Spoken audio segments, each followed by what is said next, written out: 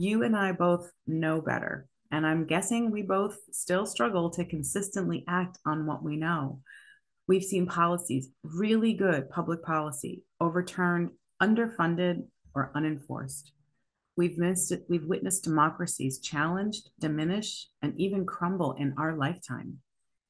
And frankly, endless fault finding and scapegoating, it doesn't create more accountability. Often it leads to the opposite. So, what if we considered that in large part, the answer to why oppression persists lies in acknowledging and understanding that we've all been hurt?